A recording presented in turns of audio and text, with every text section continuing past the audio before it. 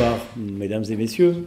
Euh, mon rôle ce soir n'étant pas de prendre la parole, mais plutôt de la répartir et de l'animer, euh, je vais être très bref pour vous dire euh, moi-même le plaisir que j'ai à me retrouver dans cette salle. À l'époque où elle a été construite, j'étais directeur des finances au Conseil général du Val d'Oise, à une époque où on pouvait faire ce qu'on voulait dans les départements, si je puis dire. Je ne sais pas si ce serait le cas aujourd'hui.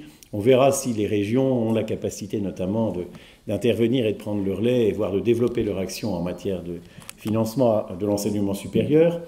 Euh, je vais tout de suite euh, céder la parole pour la première partie de la présentation, qui sera un rappel, si vous voulez, du cadre général de la réforme régionale, réforme regroupement d'un certain nombre de régions et par ailleurs augmentation de leurs compétences, à euh, Laetitia Janico et Nelly Ferreira, toutes les deux enseignante à l'université, surtout en l'occurrence co-directrice du master deuxième année, droit des collectivités territoriales et politique publique.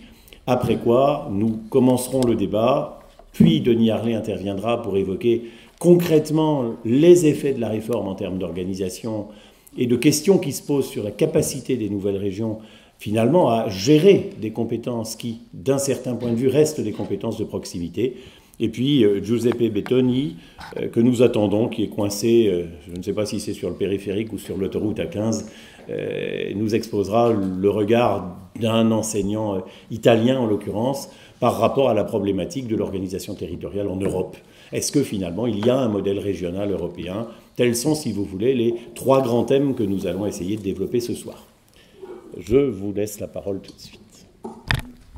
Alors merci euh, Luc Alain, bonsoir à tous. Alors il nous a semblé utile de commencer, comme vous le voyez, par un petit rappel historique euh, et de savoir en fait de quelle région nous allons parler. Alors on va s'échanger la parole avec Laetitia euh, Janico, un jeu de ping-pong sur, sur ce thème-là. Alors effectivement, de quelle région allons-nous parler?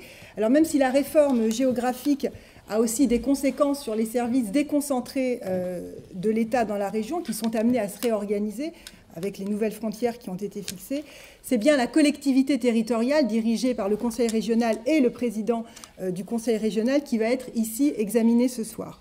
Alors l'histoire de cette collectivité territoriale est récente, même si bien entendu certaines régions apparaissent comme des réminiscences des provinces de l'Ancien Régime, pourtant mises de côté lors de la Révolution au profit des départements. Mais ceux-ci, les départements, sont euh, rapidement euh, apparus comme étant trop petits pour mener euh, certaines politiques, notamment économiques, qui euh, demandaient, qui nécessitaient un espace plus grand. C'est la raison pour laquelle, avec quelques tentatives de créer euh, des échelons spécialisés de type régional, on parlera des régions militaires, des académies scolaires, des groupements économiques régionaux pendant la Première Guerre mondiale, il fut décidé dans les années 50 de créer des programmes d'action régionale en matière économique en 1955. Et c'est en fait un simple arrêté ministériel du 28 octobre 1956 qui a divisé le territoire français en 22 régions et euh, territoires qui n'ont pas été véritablement remis en cause jusqu'à très euh, récemment. En 1960, un décret euh, transforme ces programmes en circonscriptions d'action régionale, les fameuses CAR, qui vont donc devenir le cadre privilégié de la planification économique de l'État et donc un relais pour l'action économique de l'État. Un décret de mars 1974 modifie le nom de ces CAR, qui deviennent donc les régions, et instaure les préfets de, euh, de région. Comme vous le voyez à ce moment-là, la région ne s'inscrit pas du tout dans une politique de décentralisation comme on la connaît aujourd'hui, mais véritablement de déconcentration, c'est-à-dire d'échelons d'action pour euh, l'État. Mais la volonté euh, décentralisatrice va commencer à faire son apparition, avec notamment la euh, réforme voulue par Charles de Gaulle, euh, réforme régionalisatrice, hein, faire des régions des collectivités territoriales. Mais vous le savez, c'est 1969, le référendum et l'échec de ce référendum qui fait que cette première étape n'aboutira pas. Toutefois, la volonté décentralisatrice n'est toujours pas loin et en 1972, les régions deviennent des établissements publics régionaux, des EPR, comme on les appelait, qui, font, qui fait entrer euh, cette, euh, cette, région dans une étape de décentralisation, puisqu'elle donne aux régions une personnalité juridique. Alors, Qu'est-ce que ça veut dire? Ça veut dire simplement que les régions peuvent à ce moment-là décider en leur nom. On leur donne également certaines missions, notamment de développement économique. Elles peuvent également financer des études et des équipements collectifs dès lors qu'il y a un intérêt euh, régional. Donc des compétences certes limitées, mais déjà le début de quelque chose. Et ce quelque chose aboutira avec la décentralisation à la transformation de ces établissements publics en régions, collectivités territoriales. C'est la loi du 2 mars 1982 qui crée donc les régions en tant que collectivités territoriales en instaurant un conseil régional élu au suffrage universel direct, les premières élections auront lieu en 1986, et un président du conseil régional exécutif de la région élu par et parmi le conseil euh, régional. Lui sont attribuées à cette région dès 82 des compétences importantes, développement économique, aménagement du territoire, formation professionnelle et lycée, gestion des lycées. Telles sont les principales euh, compétences attribuées à ce moment-là.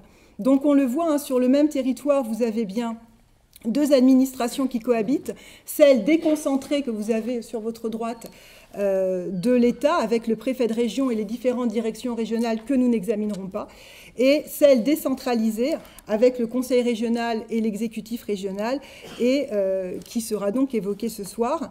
Euh, collectivité territoriale qui ne cesse de gagner en puissance, portée par le discours politique consensuel sur ce point-là, à savoir la nécessité de faire des régions collectivités territoriales fortes.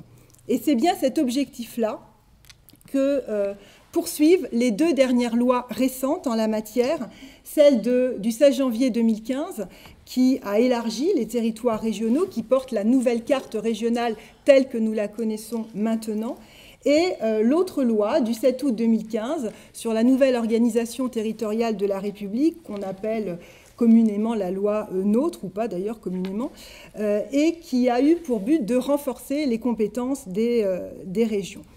Les objectifs du législateur en la matière sont, sont multiples. On veut des régions plus fortes. On veut également que ces régions puissent concurrencer les autres régions européennes, notamment on lorgne les régions allemandes, les Länder. On cherche également à simplifier l'organisation euh, décentralisée. Non seulement il y a un millefeuille, mais en plus il y a beaucoup d'entités euh, sur chacune de ces feuilles, trop de régions. Donc voilà, on veut également simplifier ce, point-là. Et enfin, le dernier objectif, qui est peut-être devenu euh, le principal objectif maintenant, c'est de limiter les dépenses publiques.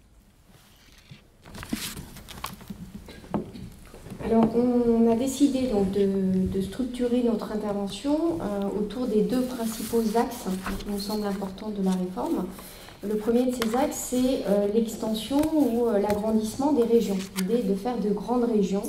Le deuxième axe, c'est celui qui est relatif au renforcement des compétences dont on parlera en seconde. Alors, euh, il me revient de, vous parler de ce premier axe, l'extension des, régions et l'idée de, faire des régions, des régions plus, grandes. Alors, on a modifié euh, la carte régionale, euh, notamment la loi de janvier 2015 dont on vient de vous parler. Alors, sur, donc vous voyez sur cette carte, il y avait jusqu'en 2015 22 régions métropolitaines auxquelles euh, il fallait ajouter euh, les régions d'outre-mer. Euh, donc la loi du 16 euh, janvier 2015, et c'est sur la, deuxième carte, a réduit euh, le nombre de ces régions, donc l'idée est de, les limiter, puisque nous sommes passés à 13 régions métropolitaines auxquelles il faut continuer à ajouter les régions d'outre-mer. Alors comme vous pouvez le voir sur, sur la carte, on a ainsi modifié le territoire de 9 régions en en fusionnant soit 2, soit 3 de cette manière-là. Alors pour reprendre, euh, on, peut rester sur cette, sur cette carte. ainsi, on voit apparaître, et on va en reparler ce soir, de nouvelles régions avec de nouveaux noms, notamment la région Grand Est, vous voyez, qui réunit les anciennes régions Alsace, Lorraine et Champagne-Ardenne. De la même manière, est apparue une nouvelle région, la Nouvelle-Aquitaine, qui réunit la région Aquitaine, Limousin et Poitou-Charentes, qui, disparaissent. Euh, il y a aussi donc, la nouvelle région Hauts-de-France, euh, qui réunit la région, les anciennes régions Nord-Pas-de-Calais et euh, Picardie. Vous voyez aussi que la Basse-Normandie et la Haute-Normandie ont été réunies pour former une nouvelle région qui est la région Normandie.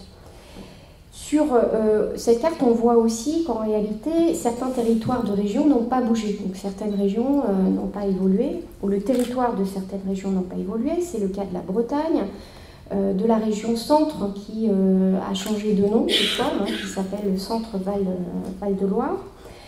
c'est le cas également de la région Île-de-France, hein, qui n'a pas été modifiée la région Pays de la Loire et euh, la région euh, Provence-Alpes-Côte d'Azur, qui sont euh, restés sans, changement.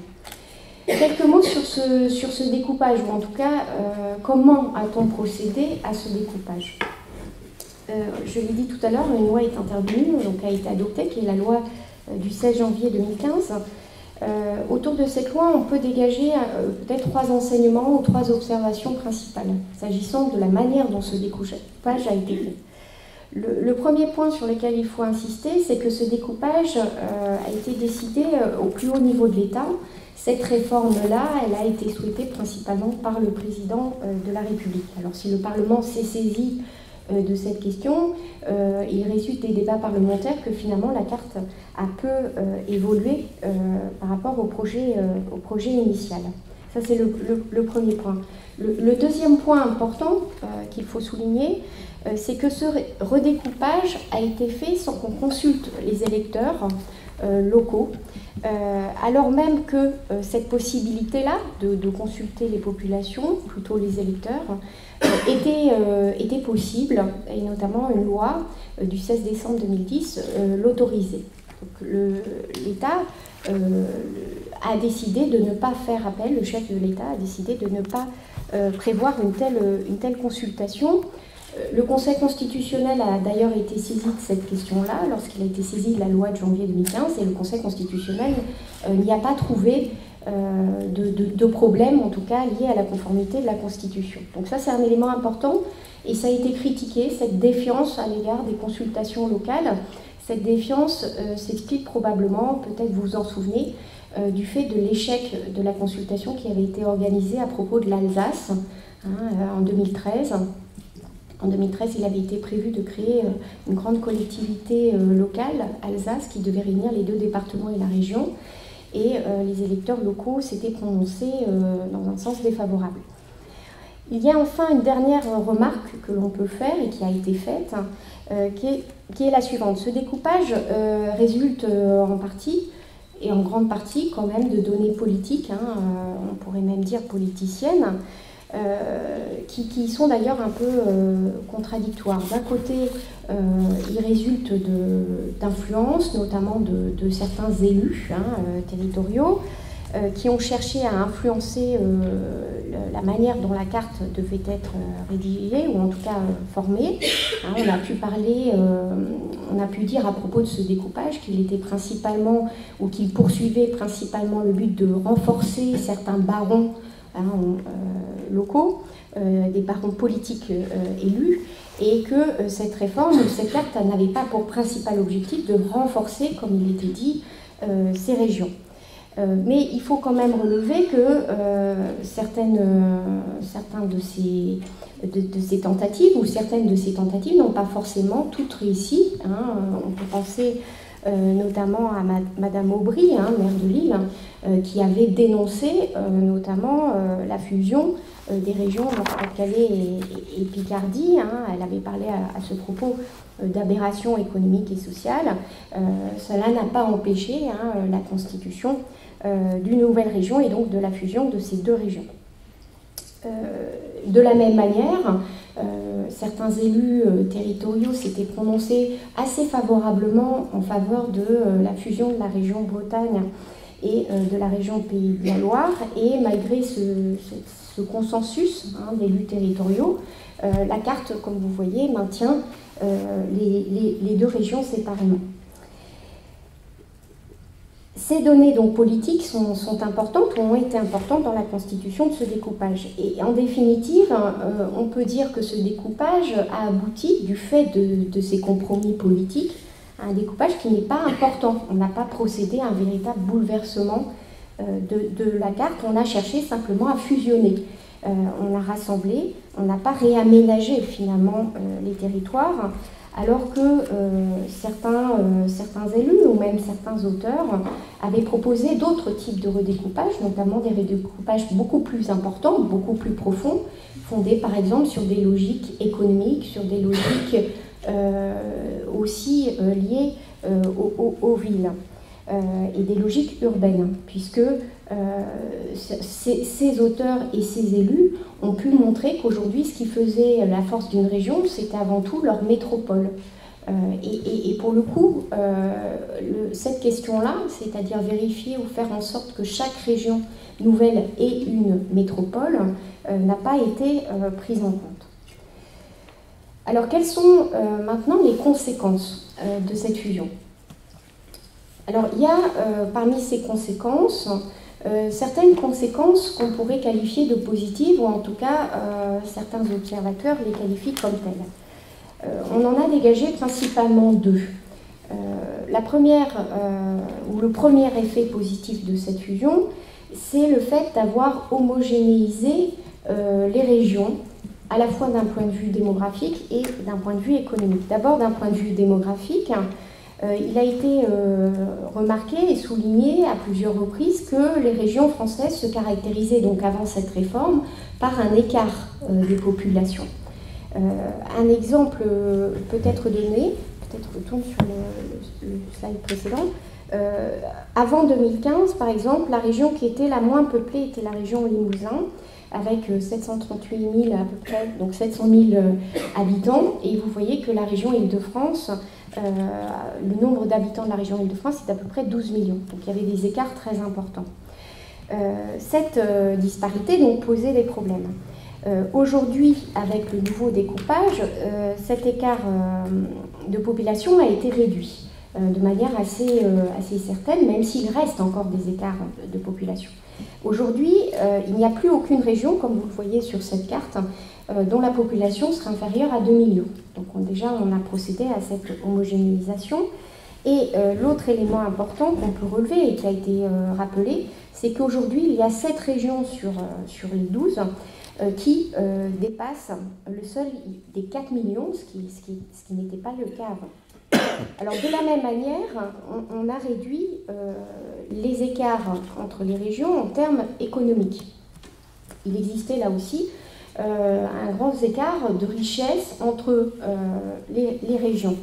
Euh, bien entendu, la région Île-de-France hein, est la région qui est la plus, la plus riche. elle représentait, en tout cas avant la réforme, 31% du PIB métropolitain avant la réforme. Et la région Limousin, elle, représentait que 0,85% du PIB. Donc vous voyez le, décalage important. Aujourd'hui, euh, le décalage est moins important. Hein, la région Île-de-France reste importante, ou la plus riche. Mais vous voyez que la région la plus pauvre, hein, qui est la région Centre-Val de Loire, représente maintenant aujourd'hui 3,3% du PIB euh, métropolitain. Donc on voit qu'on a au moins un peu réduit euh, les écarts. le deuxième effet positif de cette réforme qui a pu être souligné, c'est le renforcement du poids politique euh, des, régions et, plus précisément euh, des élus régionaux, puisque euh, désormais l'État va devoir faire face non pas à 22 régions, mais seulement à 13 présidents de, régions. Et donc ces, présidents, moins nombreux, qui, qui gouvernent des territoires plus importants, seront nécessairement plus influents, auront probablement plus de poids politique que ne l'avaient les anciens présidents. Alors à côté de ces effets positifs, la réforme euh, conduit surtout à des interrogations et euh, va susciter dans sa mise en œuvre des difficultés. Alors on va les rappeler brièvement euh, parce que pense que M. Harley en parlera mieux, que nous. De, ces effets et de ces, de problèmes, difficultés et surtout des interrogations. Alors, la première euh, interrogation, ou en tout cas premier effet qu'il va y avoir, difficulté, c'est des difficultés qui sont liées à la réorganisation institutionnelle des régions. Dès lors qu'on va fusionner des régions, apparaissent de nouvelles régions, il faut euh, d'une part, et euh, c'est ce qui a déjà été fait, identifier des nouvelles capitales régionales, Hein, ce choix des capitales régionales a, été fait d'ailleurs récemment. On, voulait souligner toutefois hein, que les anciennes capitales régionales ne disparaissent pas complètement non plus. Euh, puisque euh, si une capitale régionale a été choisie, les anciennes capitales régionales euh, finalement conservent certaines administrations régionales. Donc on va se retrouver avec des problèmes de, gouvernance hein, qui vont être importants. Un seul exemple, pour vous donner un exemple, dans la nouvelle région d'Occitanie, a été choisie comme capitale Toulouse, mais Montpellier conserve hein, un certain nombre d'administrations régionales. Euh, pour qu'elle puisse conserver notamment euh, euh, un certain poids. On, leur a aussi choisi donc, des noms et on a identifié ces chefs-lieux. Donc vous voyez qu'il y a des problèmes de gouvernance qui vont se poser, qui seront importants. Peut-être encore plus important parmi ces, ces, questionnements et ces difficultés, c'est les effets sur les fonctionnaires et sur le personnel et notamment sur les questions du déplacement hein, de ce personnel. Certains personnels vont être obligés de se déplacer, et les problèmes de rémunération, euh, puisque euh, les agents euh, n'avaient pas la même rémunération selon les régions. Le fait qu'ils fusionnent, qu'il y ait une fusion des régions, fait que les mêmes agents vont devoir être rémunérés de la même manière. Tout ceci pour dire qu'on n'est pas totalement sûr que cette réforme conduise à des économies. Au contraire, on peut se dire, ou en tout cas on peut penser que cette réforme devrait entraîner euh, des dépenses, au moins à court terme et à moyen terme. Euh, je, m'arrête là, puisque on, a déjà, euh, bien, avancé. Je laisse la parole à ma, voisine. Alors, le deuxième axe de cette réforme concernait le renforcement des compétences régionales. Alors, renforcement, effectivement, dont on pouvait penser qu'il euh, se traduirait par une extension euh, des missions régionales. Or, la fameuse loi NOTRe du 7 août 2015 a supprimé la capacité qu'avaient jusqu'alors les euh, régions d'intervenir en dehors des attributions que leur confiait expressément la loi. Vous savez, la fameuse clause générale de, de, compétences. Et donc les régions sont maintenant limitées aux compétences que l'État souhaite leur octroyer sans qu'elles puissent intervenir de manière spontanée, on va dire, comme elles pouvaient le faire auparavant. Alors cette volonté de, limiter euh, le champ d'action des régions, de spécialiser leurs euh, compétences, est justifiée par l'idée de clarifier les compétences entre les communes, les départements et les régions. Chacune de ces collectivités pouvait en effet jusqu'à présent euh, librement agir dès lors qu'il y avait intérêt local qu'elle pouvait justifier. Et cela a donc abouti à ce qu'on a appelé là aussi l'enchevêtrement des compétences. La solution toute trouvée, nous a dit le législateur, a donc été de spécialiser les compétences, notamment des départements et des régions, pour mieux identifier qui fait quoi. Mais cette spécialisation, notamment des compétences régionales, pouvait paraître contradictoire avec la volonté de les euh, renforcer. Mais en fait, Lorsqu'on regarde les compétences que la loi maintenant attribue expressément euh, aux régions, et notamment les compétences qui ont été maintenues, on s'aperçoit que le législateur a été plutôt bienveillant à l'égard des régions, ce qui n'a pas été le cas avec les départements, qui ont vraiment vu leurs attributions notablement réduites. En fait, on se rend compte que le législateur n'a pas souhaité, euh, contrairement au discours euh, affiché, n'a pas souhaité restreindre la voilure d'action des régions et qu'il a eu une interprétation plutôt généreuse et pragmatique, en tout cas, de leurs compétences. En atteste notamment le maintien du large périmètre d'intervention des conseils régionaux en matière de promotion et de soutien de multiples politiques, en effet, les, régions peuvent intervenir pour soutenir et promouvoir le développement économique, le développement social, le développement culturel, la politique de la ville, la politique de l'éducation, l'accès au logement, bref, bref, bref. On voit bien que les régions semblent pouvoir investir tout domaine par des actions de promotion et de soutien, certes, mais celles-ci constituent bien une capacité d'agir assez malléable pour euh, les régions qui ne verront sans doute pas euh, les effets de la disparition de la clause générale de euh, compétences. Et puis on peut même dire qu'il y a eu accroissement en fait de leur périmètre d'action, puisque de nouvelles compétences leur ont été attribuées Alors, à l'origine, le projet de loi NOTRe, le fameux du 7 août 2015, avait prévu un nombre important de transferts de compétences du département vers la région, notamment en matière de voirie, de collège, mais tout cela pas, ne s'est pas finalement réalisé. Mais les régions ont quand même reçu de nouvelles attributions de gestion le transport routier interurbain, le transport scolaire, euh, les gares publiques routières, les infrastructures de transport non urbain, ferré de personnes et de marchandises, la gestion des ports maritimes, la gestion des fonds européens. Donc ce ne sont que quelques exemples, il peut y en avoir d'autres. En tout cas, on voit bien que euh, la voilure d'action des régions euh, n'a pas du tout été diminuée. Mais surtout, à côté de ces compétences complémentaires de, de, gestion, les régions se sont surtout vues confirmées dans leur rôle de collectivité de prospective et de coordination du secteur économique et de l'aménagement du territoire à travers l'élaboration de deux nouveaux schémas de grande ampleur. Alors en matière économique, pour laquelle la région est maintenant officiellement responsable de la définition des orientations, elle en écrira, telle une forme de partition, le fameux schéma régional de développement économique, d'innovation et d'internationalisation, dont le contenu, comme vous le voyez, est assez vaste, puisqu'il devra fixer ce euh, schéma les orientations en matière d'aide aux entreprises, de soutien à l'internationalisation, d'aide à l'investissement immobilier et à l'innovation des entreprises, les orientations relatives à l'attractivité du territoire, les orientations en matière de développement de l'économie sociale et solidaire, et les actions notamment en matière d'égalité professionnelle entre hommes et femmes. Bref, peu d'éléments semblent ainsi échapper à ce rôle de stratège confié à la région qui intervenait déjà de manière privilégiée en matière économique depuis 1982, c'était une des premières compétences données, et qui avait depuis 2004 la possibilité de coordonner les actions des autres collectivités dans ce domaine. Mais il semble que ne lui avait pas encore été confié le rôle officiel de responsable général de ce secteur. C'est donc maintenant chose faite avec euh, euh, ce, schéma qui pourra se révéler contraignant pour les autres collectivités si la région décide de définir de manière précise hein, les fameuses euh, orientations.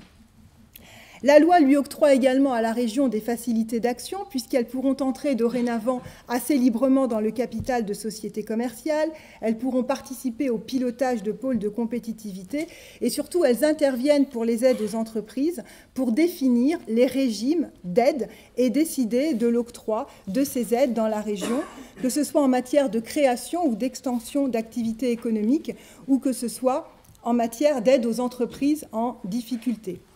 Toutefois, je le répète, euh, ces compétences ne sont pas exclusives hein, pour, euh, pour la région, elle n'en bénéficie pas de manière monopolistique, mais euh, il s'agit pour elle de définir le cadre dans lequel les autres collectivités pourront intervenir. Ce rôle d'aiguilleur du secteur économique se traduit également en matière d'aménagement du territoire avec l'élaboration d'un deuxième grand schéma, le schéma régional d'aménagement, de développement durable et d'égalité des territoires, le fameux SRADET, qui lui aussi va fixer un certain nombre d'objectifs en matière d'équilibre et d'égalité des territoires, d'implantation des infrastructures régionales, de désenclavement des territoires ruraux, d'intermodalité, euh, de valorisation de l'espace, de lutte contre le changement climatique, de gestion des déchets. Bref, là aussi, vous le voyez, hein, les régions se sont vues reconnaître un large périmètre d'action pour déterminer cette fois-ci, nous dit la loi, non pas des orientations, mais des objectifs qui semblent donc peut-être davantage devoir s'imposer. Et là encore, le rôle des régions sera principalement un rôle de construction de l'architecture des actions qui seront menées par les autres collectivités dans euh, ce cadre d'aménagement du, euh, territoire. C'est un rôle d'autant plus structurant euh, dont bénéficient les régions que les actions des autres collectivités devront être compatibles avec ce que dit le, euh, schéma et cette exigence est valable pour les deux euh, grands schémas. Donc les deux schémas sont vraiment des documents de planification parce qu'ils ont une portée prescriptive, normative, c'est-à-dire qu'ils influenceront nécessairement les actes des autres euh, collectivités. petit point également, c'est les régions ne sont pas les seules à intervenir dans l'élaboration de ces schémas. puisque en amont, euh, la loi prévoit un certain nombre de concertations avec d'autres acteurs locaux, notamment les, euh, métropoles. Et surtout en aval, il est prévu que euh, ces schémas devront être approuvés par l'État à travers la personne du préfet de région. Et la loi dit bien d'ailleurs que le préfet de région peut ne pas approuver les schémas et qu'a priori la seule manière de passer outre, bah, ce serait que les régions euh, acceptent les modifications proposées par le préfet de, région. En tout cas, rien d'autre n'est indiqué dans la loi, ce qui semble donc accorder un pouvoir de blocage, de veto au préfet de, région. Donc on le voit, hein, le rôle des régions ne va pas simplement se borner à euh, un rôle d'orientation générale, mais elles auront également, et peut-être surtout, un rôle de coordination des autres acteurs sur leur territoire, étant entendu que les régions n'ont pas de monopole sur ces domaines, et donc elles auront un rôle de structuration, de mise en cohérence des diverses actions et des divers euh, acteurs. Donc l'ensemble, on le voit, peut apparaître assez complexe, assez éloigné de la clarification qui nous était pourtant euh, promise, et on le voit effectivement, les nouvelles responsabilités j'allais dire, de compositeurs et de chefs d'orchestre qui sont octroyés aux régions n'aboutiront pas, ça il me semble que c'est assez clair, à une clarification des compétences, ni d'ailleurs à une réelle spécialisation des, régions, parce que leur domaine d'action reste, vous l'avez vu, très euh, vaste, et parce que les compétences qui leur ont été accordées ne l'ont pas été de manière euh, exclusive. Leur rôle premier, me semble-t-il, est d'organiser la complémentarité, l'articulation des divers acteurs, des diverses actions, par le biais notamment de ces, euh, schémas. Donc, en conclusion de ce que nous voulions dire, il nous semble effectivement qu'une ambiguïté euh, existe sur les motivations du législateur concernant les compétences des régions et par conséquent les régions elles-mêmes. En effet, derrière le discours de renforcement des régions, qui, nous est, qui est martelé depuis plusieurs années. Discours derrière lequel semble d'ailleurs surgir une forme de régionalisation qui ne dirait pas son nom. La réalité du droit semble donner une image quelque peu différente. Ainsi, la révolution annoncée d'un nouveau pouvoir réglementaire donné aux régions n'a pas eu lieu. L'absence d'autonomie fiscale, alors qui n'est plus tout à fait totale si l'on en croit Manuel Valls, l'absence d'autonomie fiscale ne permet pas aux régions de disposer des leviers nécessaires aux ambitions que l'État dit avoir pour elles. D'autre part, la concurrence des métropoles qui sont également compétentes en matière de développement économique apparaît assez évidente. Toutefois, les responsabilités qui sont données aux régions leur euh, octroient un rôle important, mais un rôle de structuration de leur territoire et surtout un rôle d'organisation de cette machine complexe qu'est la répartition des compétences des collectivités territoriales. Je vous remercie. Bien, merci beaucoup euh, Laetitia et Nelly pour ce, rappel, je pense, très clair et en même temps très riche à la fois de ce qui a été finalement une montée en puissance assez rapide et récente, euh, au moins affirmée des régions, et en même temps les paradoxes ou les contradictions même que portent les deux réformes que vous avez présentées. Alors avant de, vous donner la parole de, de Niarlé, et, je dirais, vous êtes directement concerné par certaines des, remarques qui ont été faites, puisque euh, vous êtes ancien directeur général des services de la région Picardie, vous avez été directeur général des services de la région Hauts-de-France pendant les premiers mois de, sa mise en place, vous êtes aujourd'hui euh, déjà chargé de la fusion, donc directement au cœur euh, des problèmes, et bien évidemment, vous allez évoquer, en reprenant ce qui a été dit comme difficulté, par exemple, sur les questions de personnel, sur les questions de gouvernance sur des territoires larges, et puis aussi sur euh, finalement l'articulation euh, schéma orientatif, prescriptif, euh, d'objectif, ou bien exercice réel de compétences. Je voudrais vous, vous poser une question sur la logique du redécoupage d'abord. Est-ce que vous pensez qu'on aurait pu faire autrement, par exemple en imaginant de briser les anciennes frontières régionales euh, en repartant, par exemple, de la carte des départements et en les reconfigurant autrement, est-ce qu'on aurait même pu aller beaucoup plus loin en considérant que la carte départementale, finalement, elle a deux siècles et qu'elle répond peut-être à des logiques qui ne sont plus d'actualité? Alors, c'est une, question très, très large. Euh, le micro bien placé, là, ça alors, je ne sais pas s'il faut prendre le sujet comme ça, parce que quand on, quand on parle de la fusion des régions, il faut savoir que ça s'inscrit dans un contexte beaucoup plus large qui est une, réforme, une vraie réforme territoriale. Euh, on ne peut pas parler d'une collectivité territoriale sans, sans, évoquer les relations avec les autres collectivités, l'organisation territoriale française globalement. Et chaque, euh, on a vécu euh, X réformes territoriales, hein, la première, la plus marquante étant celle de, 81-82 avec les, lois de fer, donc qui a été très marquante et qui, est, encore très présente dans, le fonctionnement des collectivités aujourd'hui.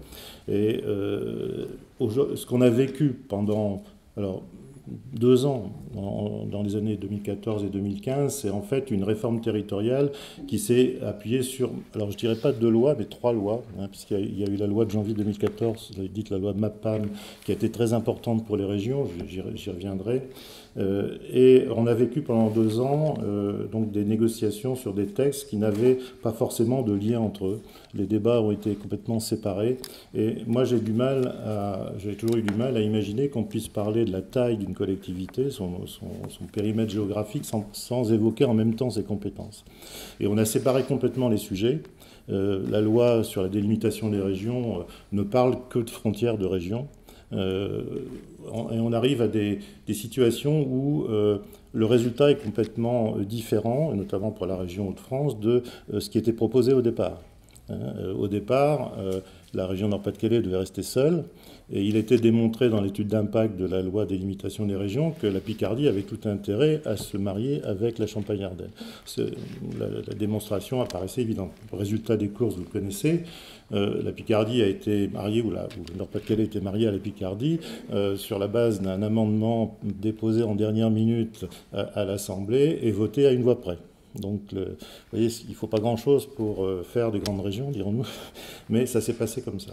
Donc, même l'essence même de cette réforme territoriale pose question, parce que je pense que ce n'est pas comme ça qu'on fait des réformes territoriales. Il aurait fallu certainement une loi cadre euh, d'abord, qui, fixe un peu l'ensemble des, sujets, et puis ensuite une déclinaison peut-être par, euh, par, par, sujet particulier, avant de, au lieu de traiter euh, sur, sur, des points complètement séparés. voilà. Donc aujourd'hui, si vous voulez, c'est très difficile de justifier le périmètre des régions sur cette base-là, parce qu'on n'a on pas fait le lien avec les compétences, et aujourd'hui, on n'est pas certain que la, géographie qui a été adoptée correspond à la meilleure euh, géographie pour exercer les compétences telles qu'elles ont été définies ensuite dans, la loi NOTRe. Bon, ça, c'est un point important, je pense, parce qu'on a vécu, euh, et là c'est la vue de l'intérieur, hein, on a vécu pendant deux ans euh, des périodes de, grande incertitude, hein, et sans vraiment comprendre ce qu'il se passait. Et faire passer dans le personnel des informations qui, devrait être motivante pour la suite, pour effectivement assurer la fusion aujourd'hui, ça a été très compliqué pendant deux ans. Hein. D'autant plus que euh, ces épisodes législatifs ont été émaillés d'épisodes politiques. Il y a eu les élections municipales, il y a eu les élections départementales entre deux. Il y a eu aussi des déclarations tout à fait particulières avec l'annonce de la suppression des départements, et puis quelques semaines après, on est revenu en arrière. Donc tout ça a créé un climat euh, très anxiogène dans, dans, dans, dans toutes les régions concernées, et dans les autres collectivités aussi d'ailleurs, et particulièrement les départements. Et aujourd'hui, on, on, est en train de travailler sur ce, cette matière-là, et ce n'est pas, pas vraiment très simple. Alors je ne réponds pas vraiment à votre question, mais le, contexte est, est, quand même très particulier, et je pense que, euh, alors ce que je dis n'engage que moi et n'engage pas l'institution qui m'emploie actuellement, mais je pense qu'elle est partagée par un certain nombre de collègues. Euh, on qualifie souvent cette réforme territoriale vraiment de rendez-vous manqué parce que c'est vrai que côté région, on attendait beaucoup plus de, cette, de, cette, réforme territoriale. Alors c'est vrai qu'il y a des avancées dans la loi NOTE par rapport à, certaines compétences, vous, les avez exposées et c'est très bien. Euh, mais il y a beaucoup de choses qui existaient déjà. Par exemple, les schémas, euh, les régions s'en étaient déjà dotées. Alors évidemment, il n'était pas prescriptif ou il n'avait pas aucun caractère de prescriptibilité. Aujourd'hui, ça, c'est un acquis, c'est vrai, et c'est une bonne chose, mais beaucoup de choses existaient, existaient déjà. Alors moi, je pense que régions fortes, oui, mais est-ce qu'on fait des régions fortes en simplement modifiant leur périmètre géographique, sans parler vraiment des compétences en même temps, sans toucher non plus aux moyens puisque aujourd'hui, on, a même moins de moyens, puisqu'il y a eu la, réduction de la dotation globale de fonctionnement depuis trois ans, donc qui a, quand même fortement impacté les, moyens des régions, même si aujourd'hui il y a une petite ouverture avec un, transfert de, de, DGA vers de la TVA qui sera peut-être un peu plus dynamique, mais on, est quand même sur des marges. Hein. Donc, est-ce que c'est ça les régions fortes? Moi, je, me pose, vraiment la question. D'autant plus que tout à l'heure, en attendant, j'avais une, actualité qui, venait de Strasbourg, qu'en ce moment, il y a le, congrès des, communautés de France à Strasbourg. Et euh, bon, c'est une, information anecdotique, mais qui, est quand même assez révélatrice de l'état d'esprit d'un certain nombre de, responsables en France. C'est qu'un président de, communauté d'Aglo, je crois, euh, je ne vais pas citer son nom, disait euh, nous devons fusionner, en parlant des, communautés de, communes ou d'Aglo, nous devons fusionner pour être plus forts face aux régions. Euh, je suis désolé, mais si c'est ça la, justification des fusions, il faut arrêter tout de suite. Un, jour ou l'autre, il va falloir parler d'amélioration de services à l'usager, aux citoyens, pour justifier l'action politique. Sinon, c'est pas comme ça qu'on va continuer à travailler. Et donc, euh, si on, cherche à justifier, on veut justifier les, délimitations et les, périmètres géographiques de collectivités uniquement par des rapports de force aux voisins, alors qu'on devrait être complémentaires et agir en complémentarité, c'est l'objet des schémas d'ailleurs hein, dont on parlait. Euh, il y a encore du chemin à faire, très clairement, hein, par rapport à, ces sujets-là. Alors, je vais, peut-être vous demander, en tant que théoricienne du, droit, euh, observatrice du droit, est-ce que le sentiment, finalement, le paradoxe qui a été présenté, le sentiment un peu de gâchis, enfin, est-ce que ça tient en partie aux procédures parlementaires successives, le fait qu'on ait effectivement examiner la situation sous des textes successifs, différents, pas nécessairement cohérents euh, Est-ce que ça tient à un défaut de vision, en fait, euh, territoriale partagée? Euh, Parce qu'on n'est pas dans une situation où tout le monde essaye finalement de construire quelque chose et on ne sait pas quoi. Est-ce que vous croyez qu'on aurait pu, est-ce qu'on est dans un pays où on pourrait avoir, et à quelles conditions, quelque chose qui soit présenté comme un véritable ensemble cohérent qui aboutisse à une organisation territoriale dont on ne se dise pas qu'il faut la remettre en cause euh, tous les ans, tous les deux ans, ou, enfin, comme vous l'avez évoqué, euh, loi de 2010, loi de 2013, 14, 15.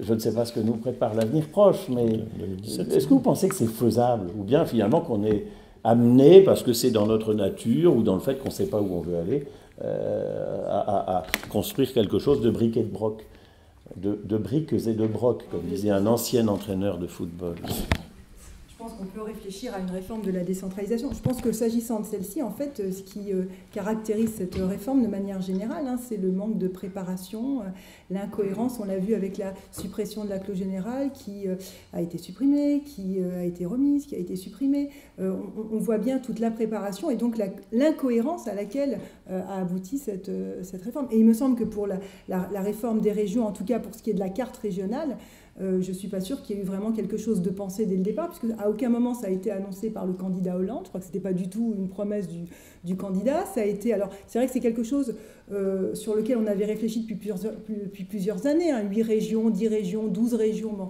Euh, mais cette carte-là, euh, elle a été une réponse à euh, des échecs électoraux, à deux échecs électoraux qu'a subi la gauche, et c'était une manière pour elle de, reprendre un peu un, dynamisme. Moi, en tout cas, je crois que c'est une des interprétations qu'on peut, avoir sur cette réforme-là de, la carte régionale, me semble-t-il.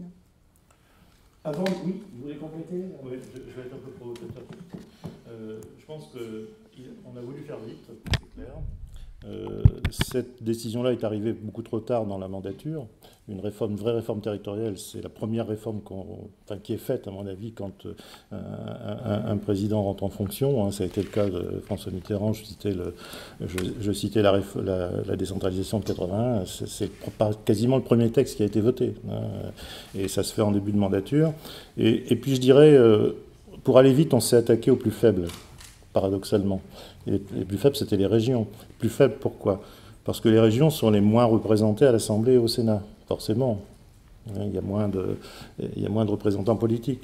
Et euh, cette, cette, situation, on, nous on l'a vécu, euh, puisque euh, au travers de, l'Association des régions de France, on peut déposer des amendements, faire soutenir des amendements par des députés et des sénateurs qui allaient dans le sens effectivement d'une plus grande des, compétences développées des régions, telles qu'on l'a évoqué. Et je peux vous dire qu'on a eu énormément de mal à obtenir des soutiens euh, pour euh, effectivement que ces amendements, qui étaient quand même très cohérents, puissent, être présentés à l'Assemblée. Et donc, euh, même si le président de l'ARF de l'époque, qui est toujours député, Alain Rosset, même, même, lui n'a pas réussi à faire passer un, certain nombre d'amendements qui s'imposait d'après les, travaux qu'on avait pu mener en, interne à, l'Association des régions de France.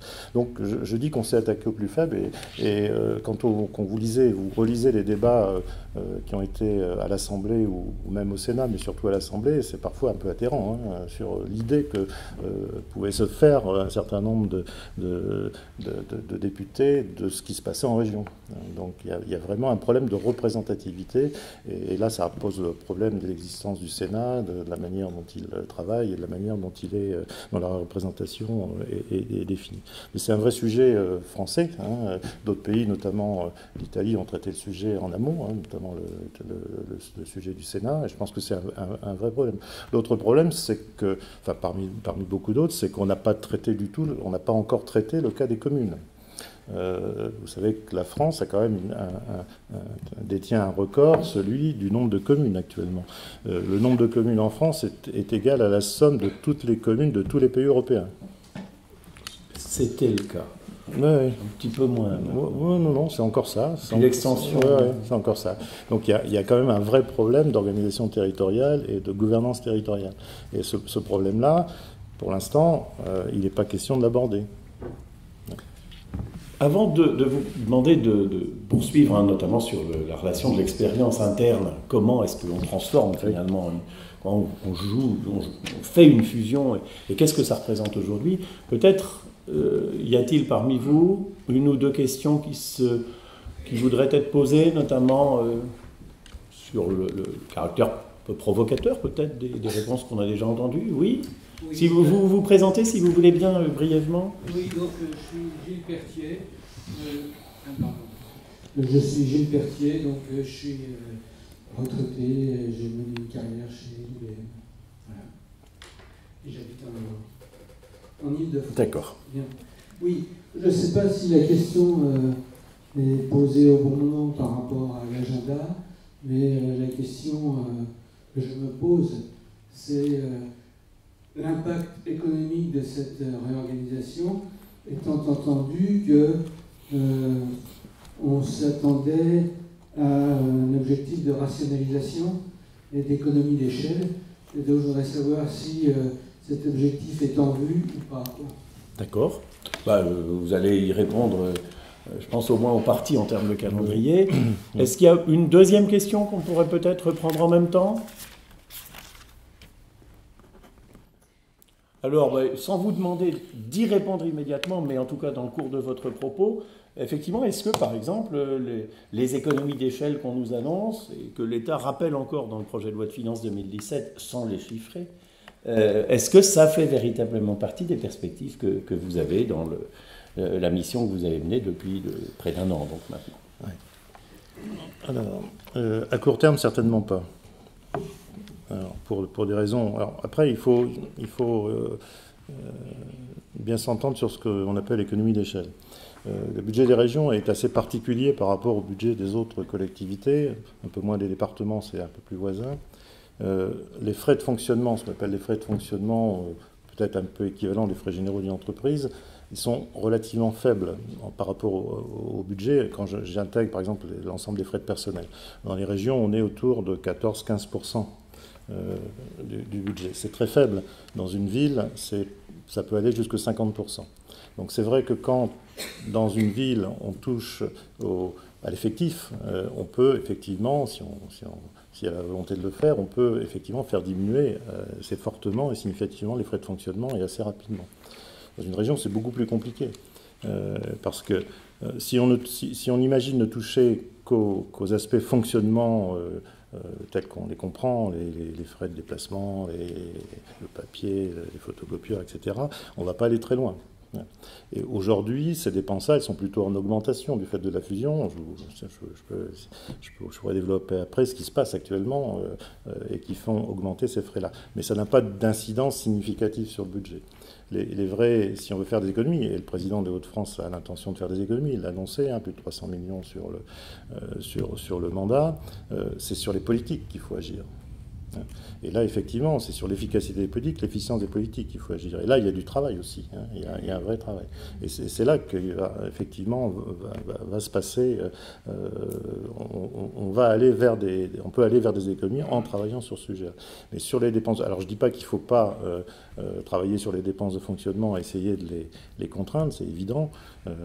Les trains de vie sont en train d'évoluer quand même dans, un certain nombre de collectivités. En tout, en tout cas, dans la Haute-France, je peux, vous dire qu'il évolue par rapport à ce qui, préexistait dans les deux autres collectivités. Euh, mais ce, ne sont pas, les résultats ne sont pas significatifs sur, le budget lui-même. Donc, euh, mais en tout cas, euh, à court terme, non, parce qu'aujourd'hui, on fonctionne on va fonctionner alors pendant, je pense, encore assez longtemps sur Ambicite, hein, puisque mmh. euh, les effectifs qui sont à Lille, les effectifs qui sont à Amiens vont y rester. Ça a été un engagement, puisque euh, les, présidents précédents et les nouveaux présidents se sont engagés à ne pas, euh, à, ne pas avoir de, mobilité géographique contrainte des agents. Donc on va conserver des services à Amiens et des services à Lille, beaucoup plus nombreux à Lille. Hein. ils sont à peu près, c'est dans le rapport de 1 à 2 entre, entre Lille et Amiens. Mais ça veut dire que les, nouveaux, les, nouveaux, les nouveaux élus, les nouveaux vice-présidents, les, nouveaux euh, directeurs généraux, les nouveaux directeurs vont devoir gouverner, gérer des personnels qui sont à la fois à Lille et à Amiens. Donc ces gens-là se déplacent. Et je peux vous dire que je me déplace. Je suis euh, deux jours par semaine à Lille ou trois jours par semaine à Lille et, le complément à Amiens. Bon, et tout le monde, euh, est dans, et, et, tous les, tous les dirigeants sont dans cette situation-là. Donc on perd du temps. Mmh. Hein, en déplacement, même si on, on, travaille de plus en plus en visioconférence, mais vous savez que ça a ses limites, hein, ces, outils-là. Euh, donc on perd du temps en déplacement, on consomme effectivement euh, bah, du, train, des voitures, etc. Et tout ça euh, a un coût, hein, très clairement. bon, pour l'instant, on, est en mesure de le chiffrer, on n'a pas encore sorti de résultat, mais effectivement, le, résultat ne va pas être bon par rapport à, cette, à cette vision particulière sur des, sur des frais de fonctionnement. Euh, bon, mais encore une fois, euh, les, problématiques de, niveau de dépenses euh, de la, des collectivités régionales sont surtout sur les politiques. C'est sur les politiques qu'il faut agir pour, si on veut réduire les dépenses. Mais réduire les dépenses, pourquoi faire? Justement, enfin, si c'est sur les politiques et si vous dites que le, les perspectives d'économie, c'est sur leur évaluation, leur, la recherche d'une plus grande efficience ou d'une plus grande efficacité, alors même que le regroupement régional, le regroupement géographique se traduit plutôt par des surcoûts.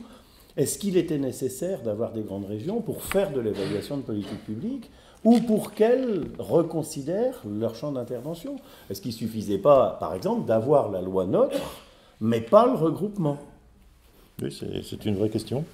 Euh, pour l'instant, je n'ai pas, pas, la réponse à cette question, j'ai mon idée là-dessus. Euh, on, prend souvent la comparaison par rapport au lander allemand, et la comparaison, il ne faut pas la faire, ça n'a rien à voir.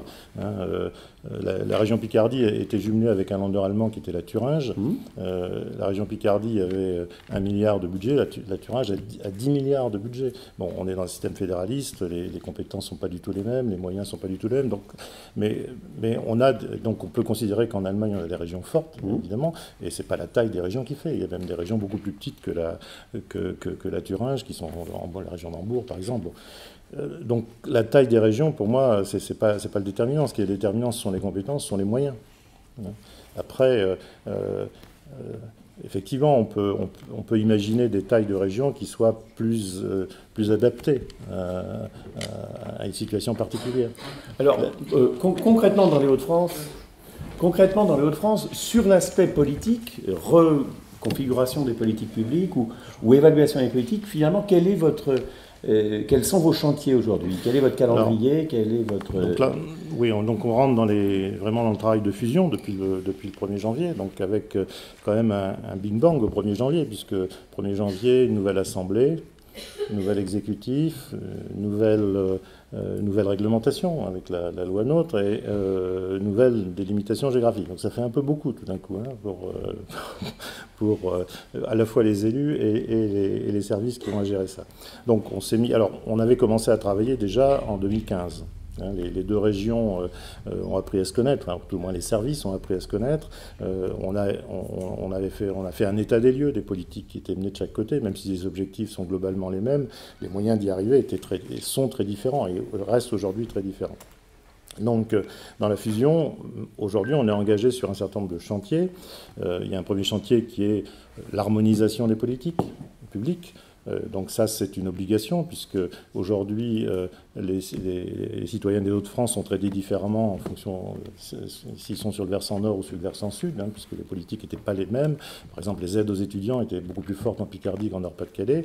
Et donc aujourd'hui, on a des étudiants en Nord-Pas-de-Calais qui réclament effectivement l'alignement avec la Picardie. Donc vous voyez les problèmes que ça pose, politique, de décision, et puis d'impact budgétaire aussi, puisque quand on parle d'économie, l'alignement par le haut, c'est pas forcément la, la bonne solution. Hein. Euh, même si ça paraît légitime. Donc il y a un très gros travail euh, d'harmonisation des politiques, des dispositifs, euh, il y en a plusieurs centaines, hein, donc domaine par domaine, et donc ce travail-là est engagé. Il y a déjà un certain nombre de politiques qui ont été harmonisées entre les deux régions, mais il y a un très gros travail à faire. La loi laisse 5 ans d'ailleurs à, la collectivité pour le faire. Je pensais que la population allait être beaucoup plus euh, demandeurs ou demandeuses d'une uniformisation, d'une harmonisation rapide, notamment sur les aides individuelles je trouve que la pression n'est pas très forte. Mm. Euh, je pensais que la pression allait être beaucoup plus forte sur les élus pour harmoniser rapidement. Ce n'est pas le cas, mais... C'est euh, parce qu'ils ne savent pas ce que vous faites. Oui, c'est possible, c'est possible. Mais sauf que les lettres, on en reçoit quand même beaucoup. mais, le président Bertrand a l'intention d'aller vite là-dessus. Hein. mais c'est un très gros chantier, il consomme beaucoup de temps aussi. Hein. et puis, euh, la nouvelle majorité a aussi l'intention et, a déjà mis en place des politiques nouvelles qui n'ont rien à voir avec les politiques anciennes. Hein. Donc tout ça, c'est peu complexe, mais euh, euh, c'est un chantier politique, puis c'est un chantier aussi pour les services, parce qu'il faut faire des propositions, il faut euh, être très réactif, et depuis le 1er janvier, je peux vous dire que c'est un peu tendu. Hein. Ensuite, il y a un autre chantier qui est celui, évidemment, de la réorganisation des services. Mmh puisque au 1er janvier, ben, euh, il y avait une direction des transports en Picardie, il y avait une direction des transports dans Pas-de-Calais, donc aujourd'hui on a encore deux directions des transports. Donc tout ça doit être organisé, et dans tous les domaines, même cas de figure. Donc tout ça doit être organisé, c'est en cours, ça va en définitive assez vite, puisque je pense qu'à la fin de cette année, on aura quasiment terminé la réorganisation des services.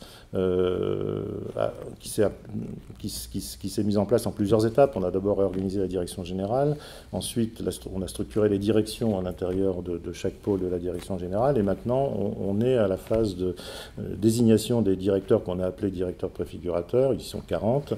Euh, qui doivent maintenant organiser, et ça c'est vraiment le cœur de la fusion de l'organisation des services, qui doivent organiser le travail à l'intérieur des directions avec des services qui sont à Lille, des parties de services qui sont à Lille et des parties de services qui sont à Amiens, avec des cultures de travail complètement différentes et vraiment complètement différentes. Et ça, c'est un enjeu énorme parce que à l'issue de la préfiguration qui, va durer trois mois, là, il faut qu'un maximum de, méthodes de travail soient harmonisées aussi entre le.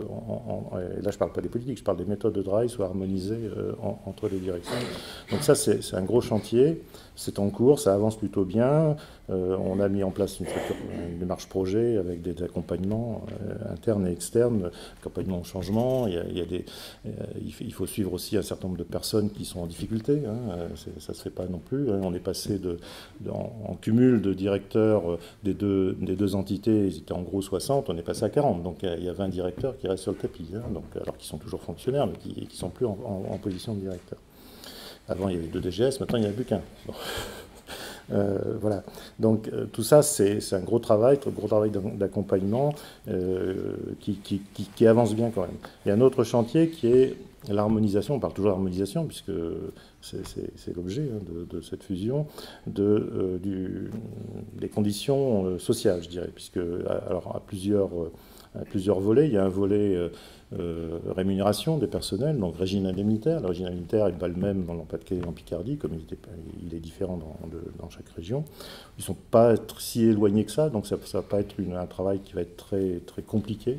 Et là, c'est toujours la question de l'aliment par le haut ou pas, hein, avec les incidences budgétaires. Mmh. Euh, il y a la question de l'harmonisation du temps de travail, parce que là aussi, mmh. euh, les modalités ne sont pas les mêmes des deux côtés. Euh, pour la petite histoire, la région Pas-de-Calais est hors la loi, ils sont en dessous des 1607 heures, ce qui n'était pas le cas en Picardie. Donc vous voyez les tensions que ça peut créer entre les, entre les agents.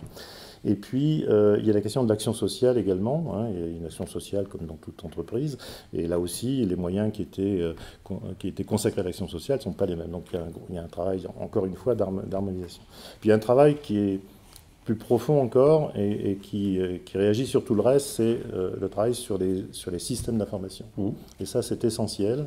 Euh, on a tout, aujourd'hui les finances, euh, tous les, tous les, les RH, tous les, tous, les dispositifs d'intervention sont basés sur les systèmes d'information. Et évidemment, euh, il n'y a aucun logiciel qui était équivalent entre Nord-Pas-de-Calais et Picardie. Il n'y avait pas de raison d'ailleurs, puisque même si on se connaissait, on ne travaillait pas ensemble, forcément dans la même organisation. Et donc là, il y a un énorme travail aussi de, de, mise en commun de ces outils-là, et puis pour bâtir des outils euh, qui soient utilisables à la fois à Amiens et, à Lille. Et aujourd'hui, ce n'est pas le cas. Donc on a par exemple, de manière très anecdotique, euh, le logiciel de production de délibération pour l'Assemblée. il, y a deux systèmes différents encore actuellement entre les, délibérations qui sont produites par les services à Amiens et les délibérations qui sont produites par les services à Lille.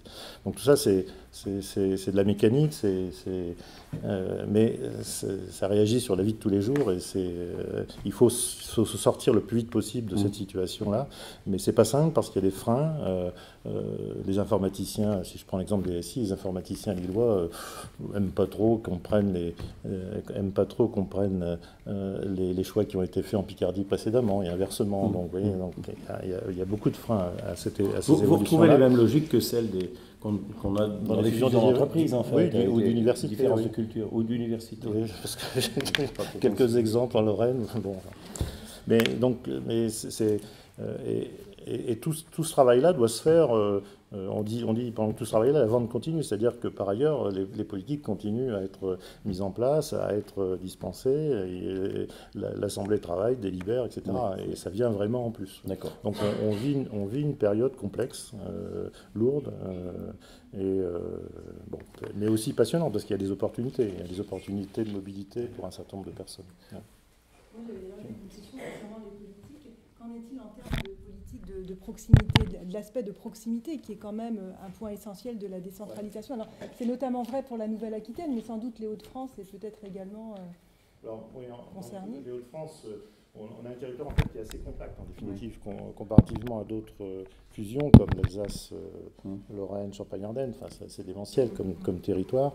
Euh, alors, l'exemple, je, cite l'Alsace parce que l'Alsace était géographiquement une des plus petites régions. Hein, euh, et c'est la, la, seule région qui a su faire fonctionner des agences régionales sur son territoire. Hum. C'est assez paradoxal. Hein. En Picardie, on avait essayé, mais on n'a pas bien réussi. Nord-Pas-de-Calais, ce n'était pas le cas du tout. Et donc, le, nouveau président Hauts-de-France, lui, il souhaite effectivement qu'il y ait une ce qu'on appelle une territorialisation de l'action régionale, donc par la création d'agences. Euh, aujourd'hui, on est entre une idée de entre une quinzaine et une vingtaine d'agences sur le territoire, euh, donc qui euh, consiste en une forme de déconcentration, cette fois-ci, de, l'action régionale. donc on est en train de bâtir aussi cette, organisation-là. La première agence s'ouvre ces jours-ci à Fourmi, dans un territoire assez rural. D'exemple. Euh, et donc l'idée, c'est pas, pas seulement d'avoir une vitrine de ce que fait la région dans ces agences, mais bien qu'on y travaille, qu'on instruise les dossiers, qu'on soit effectivement euh, au contact avec la population, aussi bien population artisan, population étudiant, population lycéen, etc. Donc euh, ça, c'est vraiment en construction, c'est important, parce qu'effectivement, dès que vous voyez, dès, qu'on veut agrandir un territoire, on essaie de rester proche de, l'usager, du citoyen, et on, reconstitue quand même des, structures qui, sont, euh, qui, sont infrarégionales. je ne dis pas départementales, non, même le niveau encore inférieur. On pourra peut-être parler de la prochaine étape de, de réforme territoriale mais c'est vrai que vous pourriez retrouver finalement le, les logiques de territorialisation des départements eux-mêmes en reprenant en fait le, ce qui a été par, notamment le, fonctionnement des ce qu'on appelle les unités d'action sociale, euh, des, départements. Euh, on, est, on est un peu dans ce schéma-là actuellement. Ce qui, ce qui veut dire qu'en fait, quand, quand, beaucoup considèrent que finalement on va garder les départements parce qu'on aurait pu les supprimer en gardant les régions petites entre guillemets et mmh. que maintenant qu'elles sont trop grandes, il faut un espace intermédiaire. Euh, vous avez le sentiment que peut-être non, en fait, il ne faut pas d'espace intermédiaire et que les départements finiront bien par mourir de, nécrose financière. Si bah, euh, oui, ils sont en train, il y a peut-être des représentants de départements ici qui peuvent en parler, mais oui, ils sont en train de mourir de, forcément. Alors, du coup, ça... Euh, si, mais si vous voulez, personnellement, s'il y avait une réforme à faire, je pense que c'était plutôt la fusion des régions existantes sur, avec les départements qu'il aurait fallu faire. Ça me paraît, ça, paraît En fait, la, fusion des deux échelons. Des deux échelons. Et là, on aurait effectivement supprimer une feuille de mille feuilles. Parce que là, Comme la tentative alsacienne dans, oui, la tentative alsacienne. Mais je pense que c'est la, prochaine étape. Je suis pas seul à partager cette idée. Alors, c'est le moment pertinent, en l'occurrence, pour, pour demander donc, à tous ces je remercie d'arriver, s'il arrive en retard, mais il a d'excellentes excuses pour ça, puisqu'il était en colloque à à Bercy hein, jusqu'à 17h. 17h. Oui, je suis monté en voiture à 17h11 pour arriver à 19h ici. donc euh, Giuseppe, euh, qui est professeur de, géographie politique et géopolitique à l'Université Tor Vergata de Rome, euh, et auquel j'ai demandé finalement d'apporter un peu le regard de l'européen, entre guillemets, parce que des régions où il n'y a plus de département, quelque part, Nelly parlait tout à l'heure de régionalisation, Laetitia parlait de régionalisation, finalement, beaucoup pensent que la réforme, elle a été faite pour faire plaisir à Bruxelles, pour euh, simplifier. Est-ce qu'il y a un modèle européen de la régionalisation? Est-ce qu'on y va? Euh, Ou bien est-ce qu'en réalité c'est un peu un fantasme, comme on en a beaucoup en France, où tout ce qui va mal, c'est la faute de Bruxelles, de toute façon, ça permet d'éviter de s'interroger ah, ça c'est bonsoir et d'abord, euh, avant de commencer, je vous prie de m'excuser pour cette arrivée très tardive. Hein. Ce n'est pas dans les mœurs euh, dans les miens du moins d'arriver si tard comme euh, voilà je suis important je débarque. C'est vraiment pas mal euh, c'est voilà c'est vrai que je suis italien et ça colle le profil mais je vous assure c'est vraiment pas ça. Et, merci de m'avoir invité d'ailleurs. Et il y a-t-il un modèle européen? Alors l'histoire de la régionalisation c'est un vieux amour européen. Hein, c'est comme tout vieux couple, hein, c'est une histoire d'amour et de haine. Le rapport SPAC, après la conférence de Messine, prévoyait déjà un échelon local important. Euh, avant la signature du traité de Rome, on parlait déjà, enfin, quelle vision Il y a toujours eu cette vision dichotomique à l'intérieur de la vision européenne. État central, et le reste on se débrouille, ou région. Et, et bien non, donc euh, on a toujours dominé sur le côté central jusqu'à quoi? Euh, ben, Jusqu'à 73, lorsque les, les Britanniques débarquent. C'est les Britanniques qui ont permis l'entrée de la région dans la vision européenne. Légalement, parce que les États s'opposaient à ça. Avant ça, les Britanniques, pour une question de découpage de sous, hein, parce que c'est que ça, hein, n'imaginez pas que les Britanniques euh, sont d'emblée les, chevaliers défenseurs de la régionalisation, c'est archi faux. Ils ont toujours écrasé tout ce qui est local, mieux que les Français ont su faire dans le passé. Donc. Mais là, c'était une question de gros sous. Donc il fallait découper autrement qu'à niveau national pour attribuer de l'argent. Et donc Maggie Thatcher a dit, bah, moi je veux bien rentrer dans l'Union européenne, mais je veux mon argent, c'était même un peu avant Maggie Thatcher en réalité, mais c'est elle qui tapait sur la table une fois rentrée euh, sur la pointe des pieds l'Angleterre, venant d'un échec cuisant de construction d'un autre acteur européen. Non seulement ils sont perdants, ils rentrent en Union européenne et en plus ils tapent sur la table qu'ils veulent des sous. Ça, c'est anglais. Et, pour les défauts français, je vous dirai après. Et hum, ça, c'est vraiment très anglais qui disent voilà, si on donne les fonds structurels par rapport à l'État, Londres est tellement riche qu'on ne va jamais avoir le moindre sou. Donc, découpage régional. Et c'était là la bouffée d'air venant de ce rapport SPAC. Donc, est-ce qu'il y a un modèle européen? Déjà dans le SDEC, en 99, en 94-99, la, linéa 161, si ma mémoire à cette heure de jour est bonne, euh, rappelle que, en fait, la Commission, d'une part, proposait le profil régional comme alternatif à celui de l'État. Mais l'État ne voulait pas. Quand je dis tous les États membres, il y a toujours eu cette dispute entre régions, etc. Or, euh, il n'y a pas, à mon avis, un modèle typiquement européen, parce qu'ils n'ont pas l'envergure euh, politique pour pouvoir dire voilà comme il faut faire. Ils sont trop faibles. Pourquoi on met toujours des déchus de la politique à faire les présidents de la commission? Parce qu'on veut un acteur politique faible. Pardon? Ça n'a pas toujours été le cas. Monsieur Delors aurait été très puissant politiquement parlant, aurait été occupé la place de Matignon pour un bon moment, parce qu'il n'était pas bête. Donc s'il a été envoyé à la commission, c'est parce qu'il fallait quand même un homme fort du président et fiable. et dès lors a été intelligent, fiable, etc. etc. Donc c'est pas moi qui veux dire du mal de, ce charmant monsieur, loin de là, pas possible. Mais voilà, donc même Romano Prodi, euh, que voilà, euh, qui était bon politiquement parlant, mais où était la faiblesse de Romano Prodi? Il n'avait pas de parti politique derrière. Donc il est bon, il est gentil, donc il ne va pas nous embêter. Et c'est ça le point faible. La région aurait été un des éléments caractérisants de la Commission européenne pour la mise en place de certaines politiques, parce qu'aucun acteur politique souhaite être aveugle dans la mise en place de ces politiques sur un territoire. Or, les États membres ont toujours voulu une commission bruxelloise aveugle. Tu te fais une, une lignée d'équations et c'est avec ça que tu vas me donner les sous. Tu ne vas pas voir où je vais mettre mes sous sur mon territoire. Il a fallu attendre un affaiblissement de l'État après la chute du mur du Berlin. En France, vous l'avez vu très peu. En Italie, on l'a vu beaucoup. Hein. C'est pourquoi, à votre avis, c'est en 94 euh, premières élections, enfin 93, premières élections en Italie qu'on voit un nouveau schéma politique apparaître, et c'est le côté local qui a de plus en plus de puissance, jusqu'à arriver à imposer une législation qui est totalement à l'avantage du côté local, parce que l'État ne vaut plus rien. Il est corrompu, il a volé pendant des années, etc., etc., etc. Donc il est dans une posture de faiblesse dans la négociation de la nouvelle constitution. La région prend de la place vous devez toujours réfléchir, quand il y a une réforme, d'une manière à l'enjeu de pouvoir.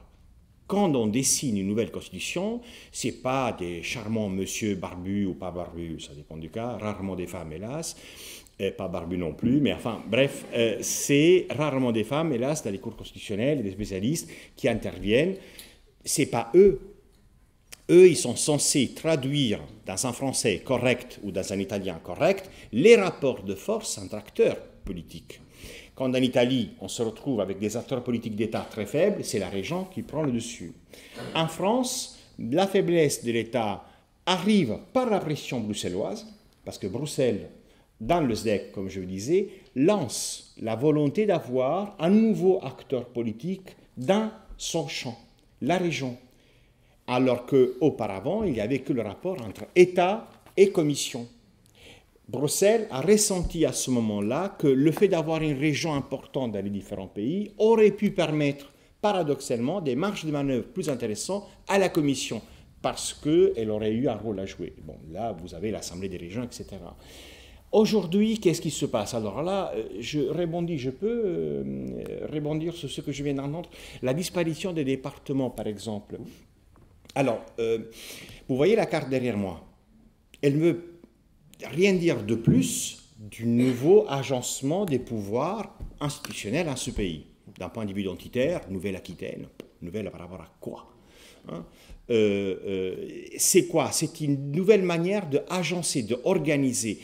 La question de, des nouveaux pouvoirs à remplir reste la même. En Italie, on a voulu effacer les départements, on ne l'a pas fait du coup, mais dès qu'on a dit on va enlever la provincia, comme on l'appelle, on a tout de suite, oui, mais il y a quand même des choses qu'il faut faire pas à niveau régional, il faut les faire à niveau départemental. Et qui va faire la province en Italie, le département, disons ben, Nous, on l'a effacé parce qu'en fait, les citoyens se plaignaient qu'il y avait trop de politiques élus qui touchaient de l'argent. OK, comment on va faire? On va faire comme ça, on va demander aux maires de faire leur boulot de maire et en plus le boulot de conseil départemental avec le même argent. Parce qu'on ne va pas leur donner un rang de plus. D'accord?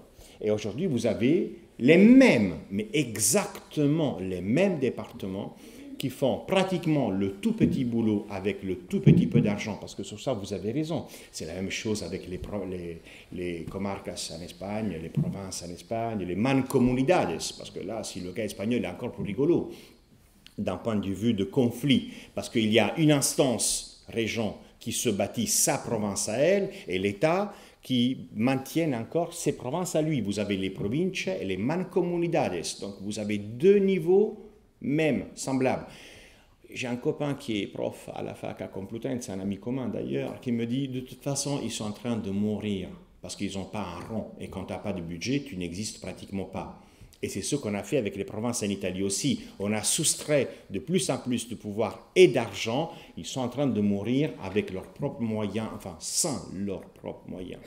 Mais on sait qu'il y a des choses que peuvent se faire strictement à un niveau dit de province ou département. Et là, c'est l'interrogation. Quand on a des régions d'une grande taille comme celle-ci, on s'interroge sur la qualité de certains services publics qu'on doit assurer à cet échelon et comment on va le faire. Est-ce que le traitement des déchets, l'éducation à certains niveaux, certaines voiries, euh, certains éléments de contrôle du territoire peuvent être gérés que par une démocratie indirecte? C'est-à-dire que vous votez un homme ou une femme pour sa politique décidée au découpage communal, mais lui, il va choisir quand même aussi des politiques à un découpage autre, qui est le côté départemental. C'est ce qu'on a fait chez nous. Hein, les Italiens croient qu'il n'y a plus de province, ils se trompent. Alors là, il y a débat. Est-ce qu'on veut avoir un élément d'élection démocratique pour une stratégie politique de l'échelon départemental à l'intérieur de la même région ou est-ce qu'on va déléguer ça à la vision d'un maire? Si vous pensez qu'on peut se passer de ça, allez poser la question euh, aux Néerlandais, qui eux aussi ont deux échelons en dessous de la région qui est élue démocratiquement parlant. Ils ont la province, Benito, ça c'est, ils en ont 12, et vous avez aussi les autorités de l'eau. Êtes un pays qui vit en dessous de l'eau, hein. c'est un élément quand même assez particulier. Ah, c'est pas anodin. Mais eux, ils sentaient le besoin que la gestion du budget, où allait allouer l'argent pour les questions d'eau, même si ça se faisait à un échelon qui était déjà celui existant, méritait un projet politique autre. Et donc, on va élire les représentants de cette autorité. Donc, vous voyez, il y en a certains qui veulent supprimer leur département, certains qui disent déjà on l'a fait quoi qu'on l'a pas fait, certains qui en ont deux, qui cohabitent, mais qui ne servent à rien ni l'un ni l'autre parce qu'ils ont plus d'argent, et il y en a certains qui en ont deux et qui se gardent bien de les, euh, de les supprimer. La Commission européenne, là-dedans, mène un travail précis qui est celui de l'interlocuteur au-delà de l'État. Il faut lire ça de cette manière. Hein. De n'importe quelle manière vous l'apprenez, la chose va se confronter à ce défaut. Il faut se méfier de l'éclairage. Hein. Ce n'est pas l'illuminisme à la française ou à la anglaise du XVIIe siècle, c'est simplement une nécessité d'un acteur coincé contre un mur qui a devant lui un mec d'un gabarit géant, l'État, les, les différents États membres. Et il fait tout pour pouvoir dire, je veux avoir ma marge de manœuvre. Je veux dégager de l'espace entre mon mur et celui que j'ai en face de moi. J'appelle à l'aide celui qui est au-delà. Et c'est comme ça qu'il faut lire le travail mené par ces faible politique de la Commission européenne. Je dis faible, je dis pas mauvais, hein, et, qui cherche à se décarcasser avec ce système. là, là, il y a un enjeu qui est quand même assez particulier, c'est réfléchir à quel type de régionalisation.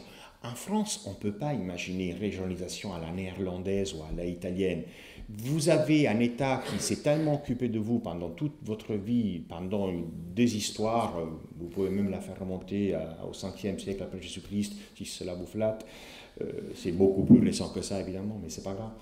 Euh, mais, mais même si on arrive à Vercingétorix, c'est pas grave. C'est, on a l'autorité centrale qui a su unifier un territoire, qui a su unifier et qui s'est occupé d'une manière verticale. Tout ce type de décentralisation, chez vous, c'est fait avec une coordination qui était verticale du haut vers le bas. Cela demandera du temps pour pouvoir développer une capacité à l'action qui vient que du bas. Moi, j'ai rencontré assez de DG à niveau local dans ce pays. Ils ne peuvent même pas envisager de faire une réforme pareille comme on l'a fait en Italie, en ne pas sachant, mais le détail absolu de qui va faire quoi.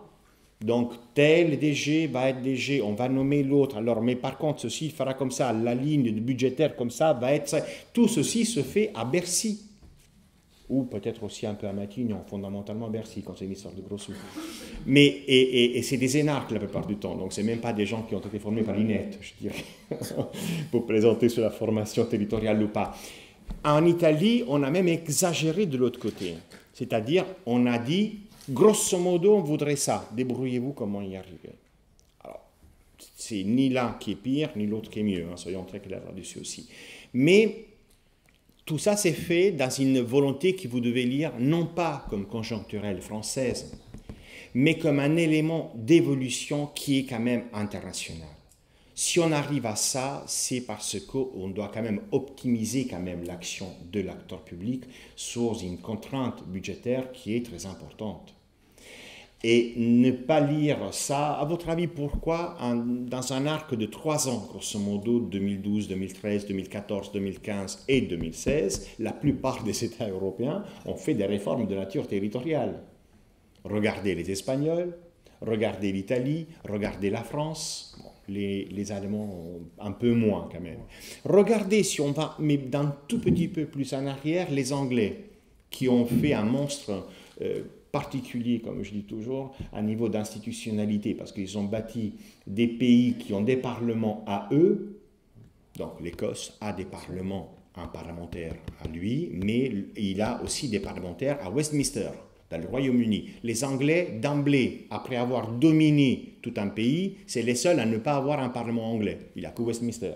C'est quand même assez rigolo, hein. peut-être, je sais pas, ils veulent s'autoflageller, je ne sais pas. Mais euh, il faut toujours...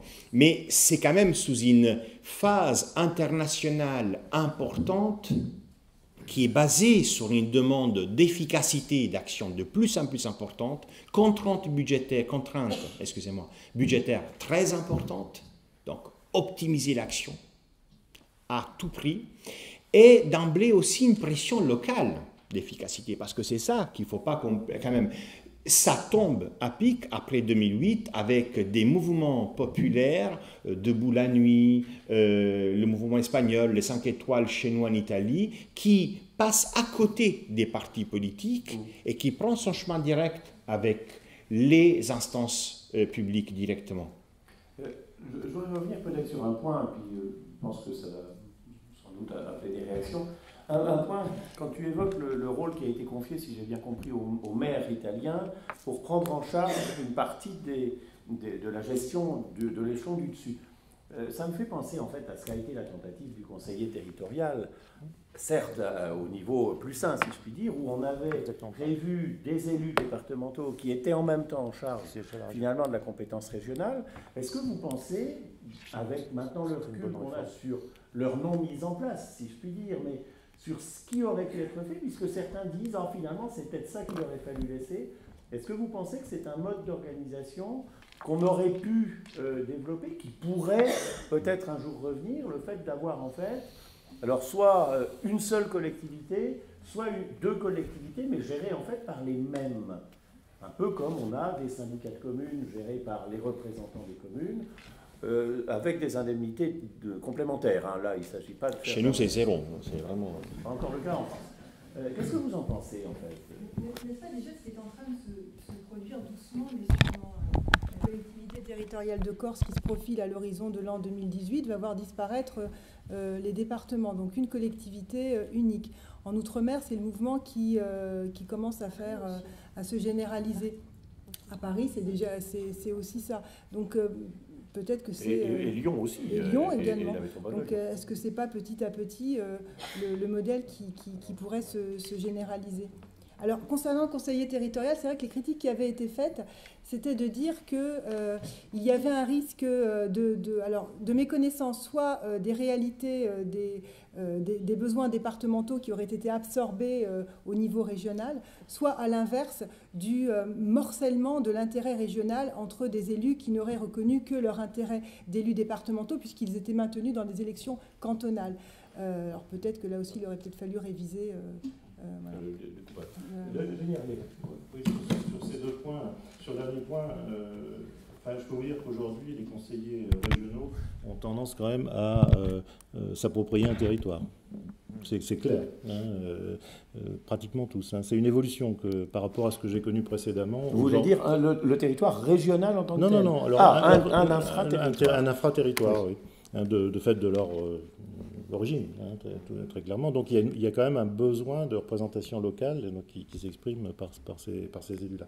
Donc qui rejoint effectivement euh, le positionnement des conseillers départementaux. Euh, Alors, euh, sur le, je reviens sur le modèle Corse parce que je pense que la fusion des régions aurait pu être aussi le temps de réfléchir à une autre organisation. Alors, je parle de l'organisation interne des régions, peut-être en allant vers le modèle Corse avec une assemblée et un exécutif séparés. Et je pense qu'aujourd'hui, euh, les problèmes de, enfin, il y a des, lourdeurs de fonctionnement qui, qui, vont s'amplifier avec la fusion des régions dans, dans, les nouvelles régions et qui est lié à ce modèle de fonctionnement où une assemblée est à la fois euh, législatif entre guillemets et exécutif. L'exécutif c'est beaucoup trop lourd, il devrait être beaucoup plus agile, beaucoup plus agile. Et le modèle Corse pour moi il, est plutôt bon hein, de, cette séparation. Donc avec un président d'une assemblée et un président de l'exécutif qui lui a, peut agir rapidement, mettre en, mettre en œuvre les, décisions et les politiques qui ont été votées par l'Assemblée. Alors qu'aujourd'hui, euh, le président de région a très peu de prérogatives en, définitive, parce que la moindre convention, il doit la faire valider, à signer, il doit la faire valider par son Assemblée. Au niveau fonctionnement, c'est d'une lourdeur invraisemblable. Et, ça, il y, a un seul député qui a proposé un amendement qui a bien sûr été rejeté. C'est un député de l'Aisne, d'ailleurs, qui est bien connu puisqu'il s'occupe beaucoup de l'Élysée en général.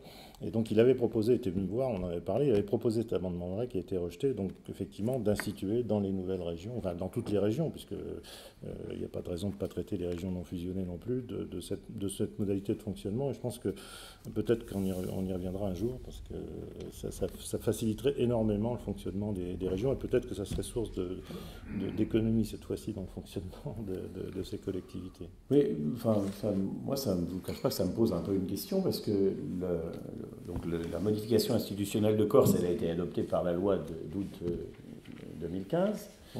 Euh, alors que la modification alsacienne, qui était un peu du même style, au, moins en termes de regroupement, a été refusée par la population, est-ce que ça ne revient pas à dire qu'en réalité, les questions d'organisation territoriale, c'est de la technique, je puis dire, ou c'est de la technique politique, mais il ne faut surtout pas que les citoyens s'en mêlent, parce qu'en réalité, ils n'y comprennent rien, en dépit du fait qu'ils réclament une efficacité, une efficience, une proximité des services publics.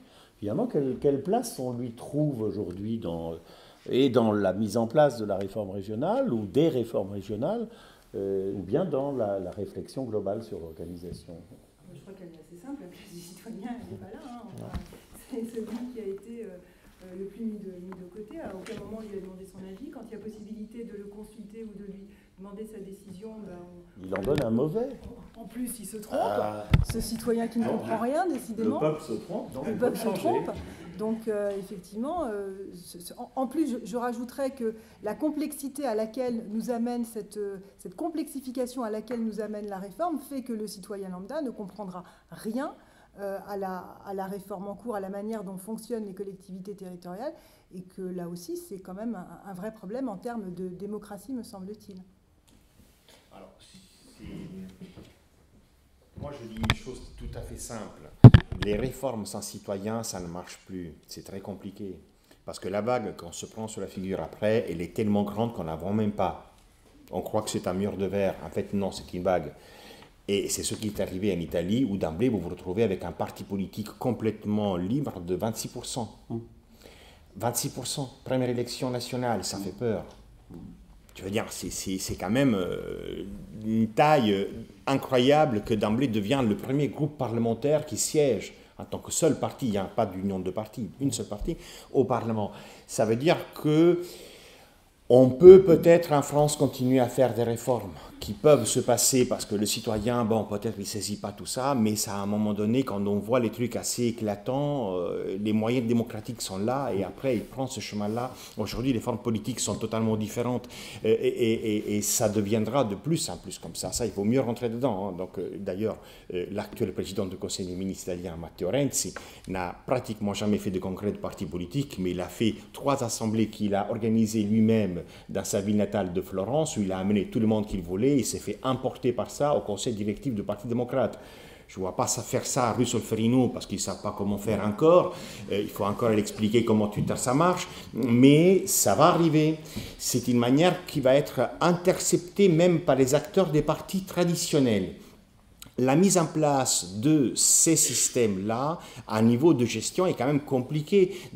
Moi, le côté démocratique me frappe parce que quand on dit à un maire, parce qu'on n'a pas fini l'histoire, sinon c'est trop long. Euh, on va lui demander de faire le maire, le membre de l'Assemblée de son département. Mais ce n'est pas l'Assemblée qui gère le département, c'est un conseil. qui ne dépasse pas les 24 élus pour Rome, c'est normalement entre 12 et 16 membres. Enfin, un copain à moi m'a dit que le Grand Paris devrait avoir 24 vice-présidents, grosso modo. Donc imaginez avoir un conseil exécutif de 24 membres au maximum.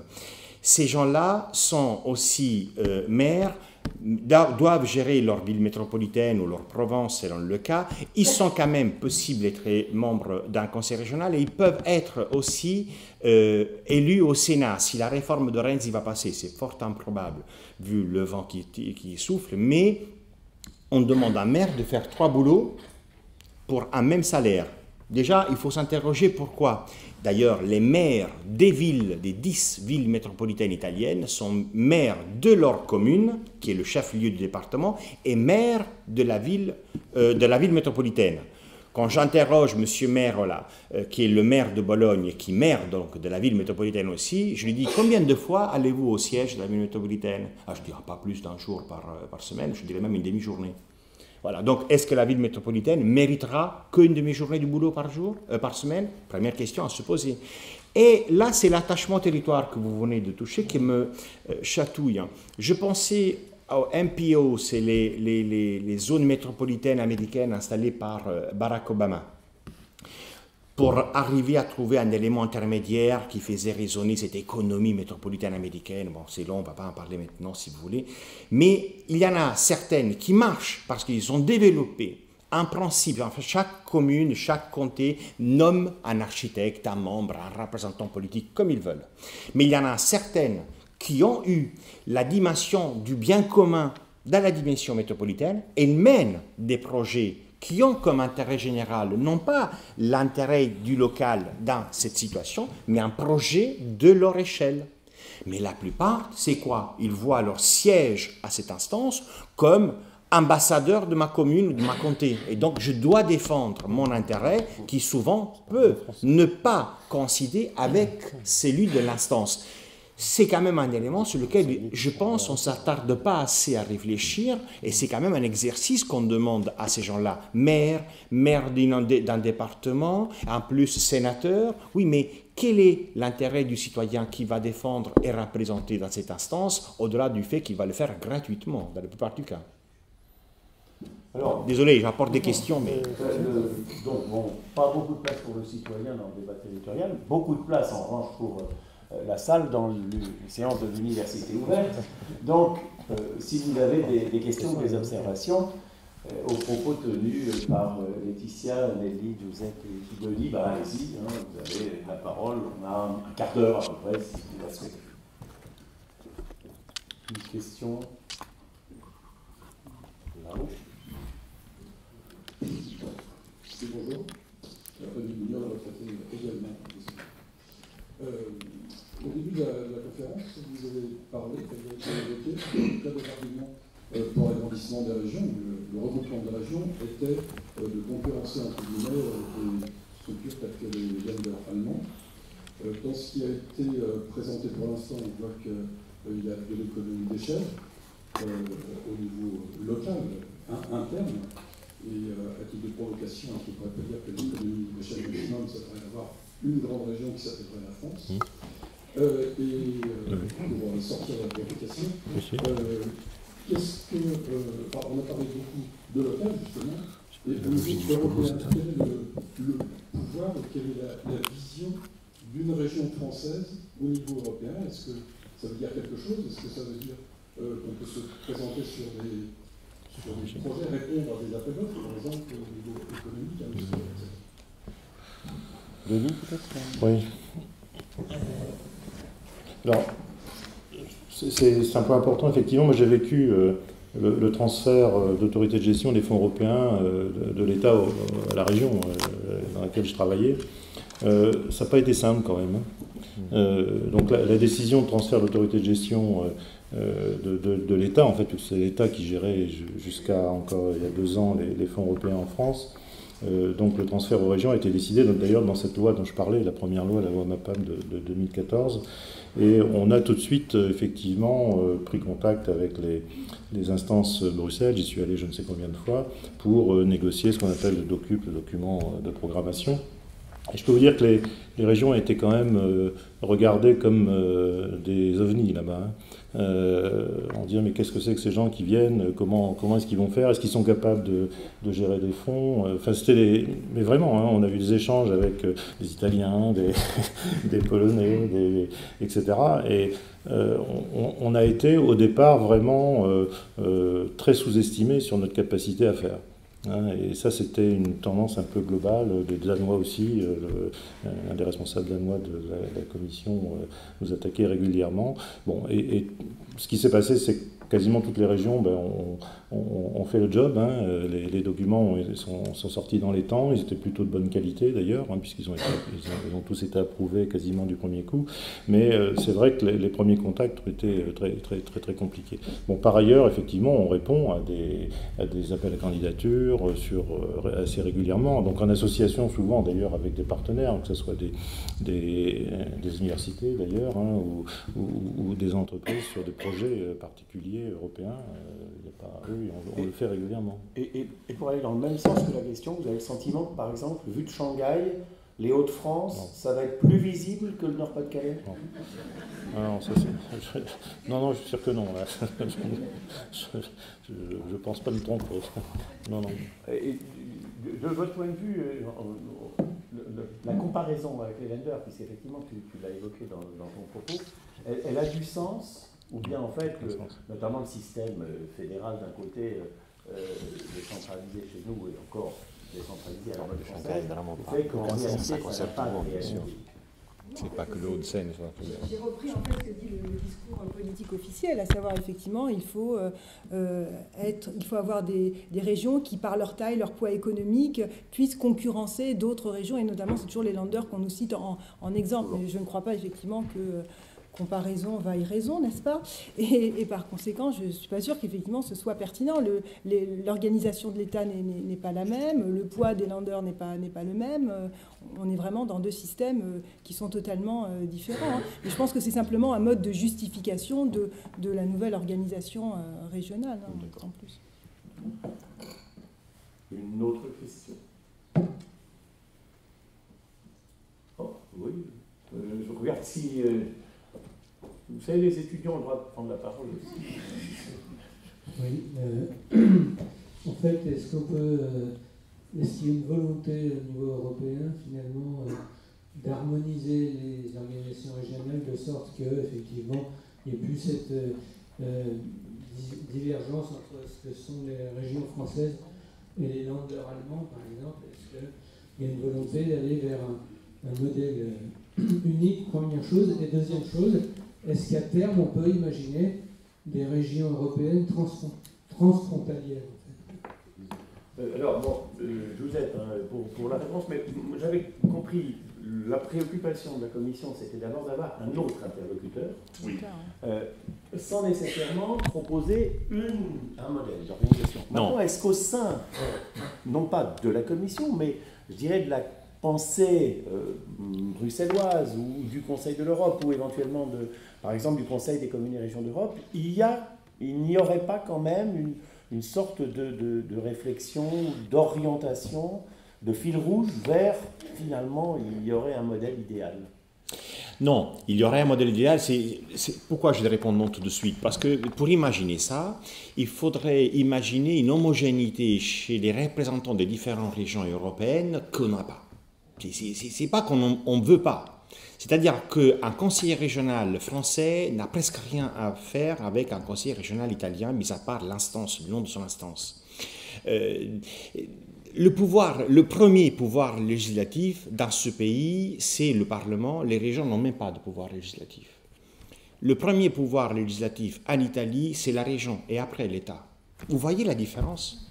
Chaque région italienne a une banque à elle. Mais une banque comme Phil Lombarda, qui pratiquement, la Société Générale n'a que de la monnaie menue. Quoi. Et, parce que si vous regardez les budgets de la région Lombardie, ça va être même plus faible qu'un budget de n'importe quelle autre région française. Oui, mais parce que les gros sous sont ailleurs. Si on part de ce principe-là, on est tellement distant qu'il est difficile d'avoir un projet commun. Dire qu'il n'y en a pas, de tout. Aucun, ça serait même d'offenser quelqu'un comme Robert Savi, par exemple, que c'est tout à fait euh, dans l'autre sens qui va. Il y a sans doute une volonté à euh, imposer de plus en plus un rôle du local ou quand même un rôle qui va au-delà de l'État euh, central, si on peut ainsi dire. De là à dire qu'il y a une vision c'est presque euh, donner trop de, de qualité à, à, ce groupe politique. Il ne faut pas non plus rêver. C'est, voilà, excusez-moi, c'est, pas pour insulter ou quelqu'un, non, c'est pas de tout le cas. C'est que il faut lire la dimension de, la, de l'évolution.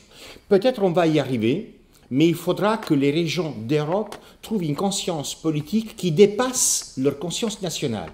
Désolé, chaque conseiller régional qui ira se balader à Bruxelles, s'il vient de France, il tombera raide comme un gendarme devant un ministre, mais même un secrétaire adjoint du secrétaire d'État, parce que c'est la République. Je veux pas, je caricature un peu, mais c'est vraiment l'esprit.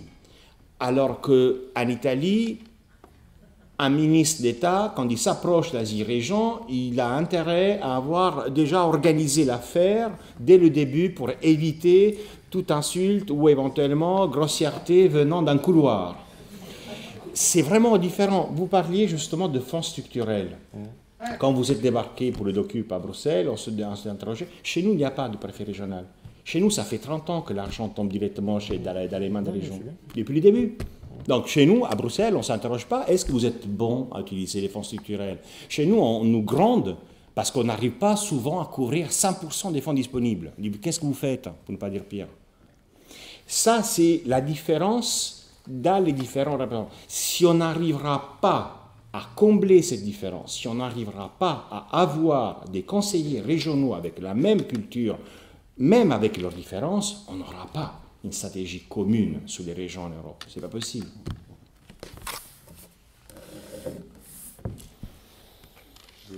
Oui, madame Bonjour, je suis Agnès Edivan, je suis éducatrice spécialisée. Et moi, j'avais une question qui touche au pouvoir, en fait, si j'ai bien tout compris. Les régions en France ont gagné en pouvoir. Je me demandais quel est euh, l'intérêt pour la France, pour l'État français, pour nos instances, on va dire, à régionaliser si c'est pour perdre du pouvoir, entre guillemets? Oui. Je ne suis pas sûre qu'en fait on ait des régions. Je ne sais pas. Euh, moi je pense qu'il y a toujours un décalage entre le discours politique euh, officiel de l'État qui est de marteler des régions plus fortes pour, une, pour un pays plus fort, a dit Manuel Valls. Et quand on regarde l'état du droit, ça ne nous dit pas tout à fait euh, la même chose. On a gagné peut-être quelques compétences, mais je ne sais pas si on a gagné en, pouvoir. En tout cas, la question peut se, peut se poser. Et je crois qu'en fait, il y a un vrai hiatus, un vrai décalage entre le, discours et, la réalité, parce que je crois que l'État ne veut pas non plus avoir des régions trop fortes qui, de partenaires, pourraient devenir d'éventuels concurrents. C'est le sentiment. Oui, complètement. Moi, je n'ai absolument pas l'impression, euh, par cette fusion, de, me retrouver dans une entité qui est plus forte. Alors, bien sûr, il y a un budget plus important, mais les compétences, même s'il y a eu des avancées dans la loi les compétences sont quasiment les mêmes. Euh, et on ne peut pas faire plus, les, moyens n'ont pas été multipliés, donc on est toujours dans, les mêmes contraintes. Voilà, donc. Euh, euh, non, globalement, euh, la région de France n'est pas plus forte que les deux autres. Moi, c'est mon opinion perso. Hein.